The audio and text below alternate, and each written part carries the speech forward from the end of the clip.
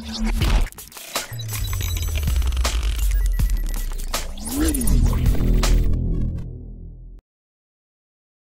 Friends பத்து வருஷம் IPL மேட்ச்ல எட்டு அணிகளும் எத்தனை முறை வந்து பிளே ஆஃப்க்கு தகுதி பெற்றிருக்காங்க அப்படிங்கறத நம்ம பார்க்க போறோம்.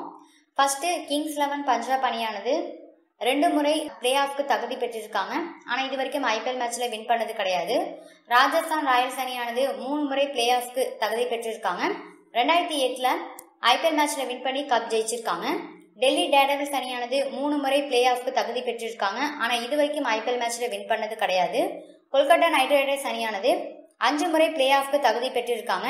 ரெண்டாயிரத்தி பன்னெண்டு ரெண்டாயிரத்தி பதினாலுல ரெண்டு முறையும் ஐபிஎல் மேட்ச்ல வின் பண்ணி கப் ஜெயிச்சிருக்காங்க.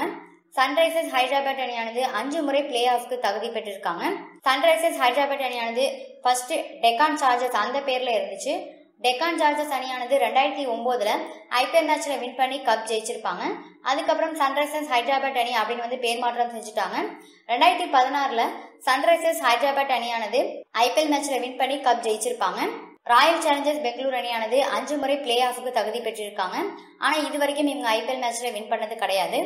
மும்பை இந்தியன்ஸ் அணியானது ஏழு முறை பிளே ஆஃப்க்கு தகுதி பெற்றிருக்காங்க. ரெண்டாயிரத்தி பதிமூணு ரெண்டாயிரத்தி பதினஞ்சு ரெண்டாயிரத்தி பதினேழு மூணு முறை ஐபிஎல் மேட்ச்ல வின் பண்ணி கப் ஜெயிச்சிருக்காங்க.